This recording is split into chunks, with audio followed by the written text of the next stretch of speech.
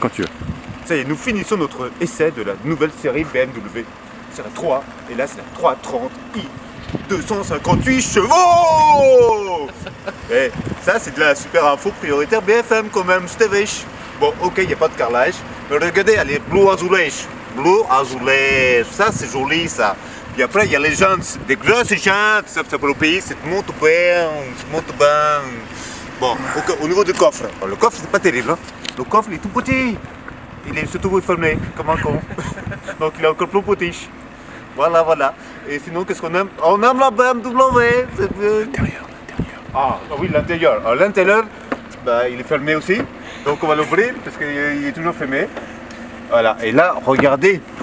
Le Travail de Paul Touguet. Moi, je mets mon ombre dessus parce que tu mets- plus bah oui, c'est plus stylé. Et là, et là, vous avez là, le beau cuir. Là, c'est du cuir, du cuir, du cuir. C'est beau, c'est joli. Voilà, ça, c'est le reportage. BFM TV, priorité numéro 1 sur l'info.